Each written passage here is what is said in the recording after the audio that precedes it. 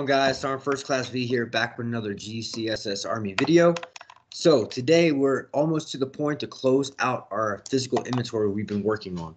So I want to recap what we've done so far. We're currently on step five. So the first step, we prepared ourselves for the inventory.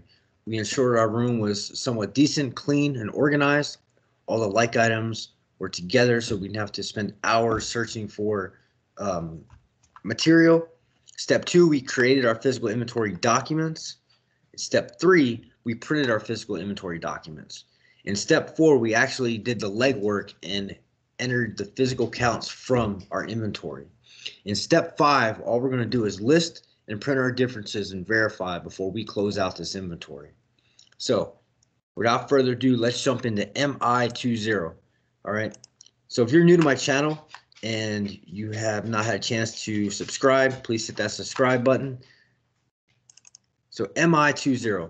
So like I told you before, most of the time, the last inventory you were working on, the number will populate here. But make sure that you have that written down just in case. Make sure that your plant and SLOC are both in there. All we're to do is we're to execute.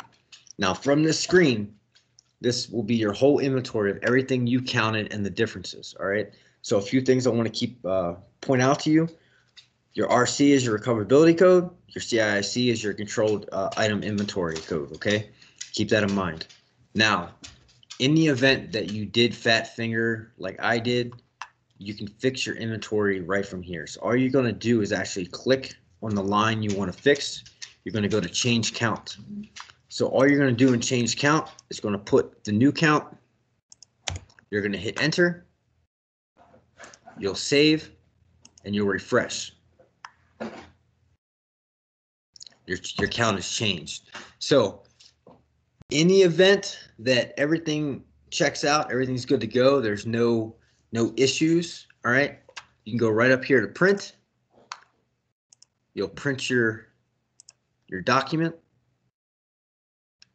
And if you wanted to, you could actually post your differences right from here.